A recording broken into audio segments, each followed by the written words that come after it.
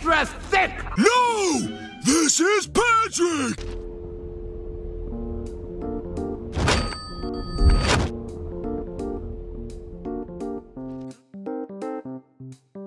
What if I tell you that you can animate anything without needing a rig?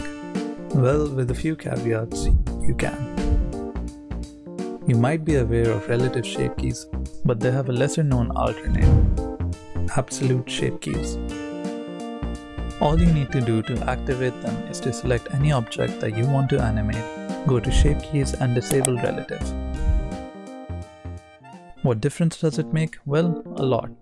Let's say you have to animate a character walk cycle. There would be two ways to go about it. One would be to animate straight ahead. But if you try to do that with relative shape keys, you run into a problem.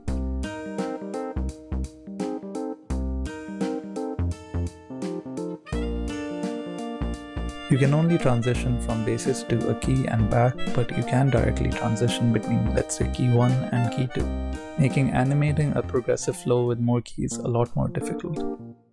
If alternately you try to animate pose to pose, you run into another issue. You can move from basis to key 1, but you can't directly add an in-between frame. With absolute shape keys, you can solve both of these problems.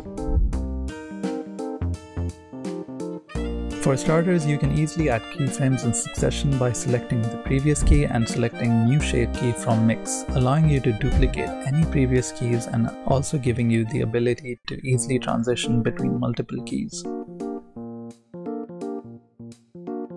In addition to that, you also have the ability to easily add and manipulate any frame in between, allowing you to animate pose to pose as well.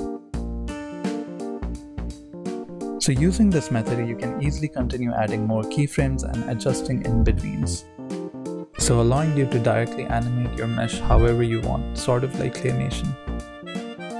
And ultimately you can end up creating animations similar to these samples.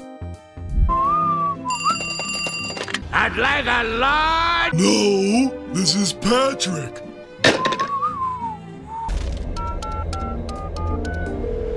If you do try this workflow for yourself, here are a few things that you should keep in mind. While making characters for this style of animation, keep the meshes as low fidelity as possible, and making use of modifiers such as subdivision and skin are great options because they leave you with only a few vertices which will end up as your animation controllers.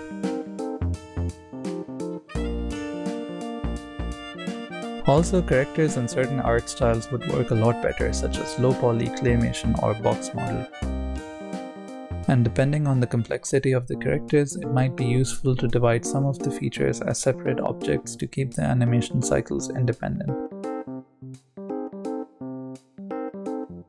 Having said all of that, of course if you're working as part of a production pipeline on a feature-length film, this is not the best way to go about it. But if you want to make a solo animation and need to cut down time, or maybe you want better control of your mesh for a more stylized stop motion look, then absolute shape keys are definitely worth checking out.